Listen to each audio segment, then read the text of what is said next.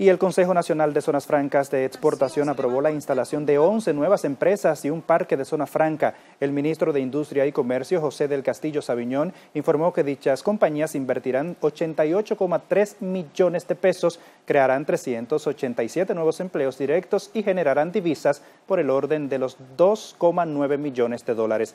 Explicó que para la operatividad del referido parque serán invertidos 327 millones y que el mismo creará 700 232 nuevos empleos y generará 1,7 millones de dólares en divisas.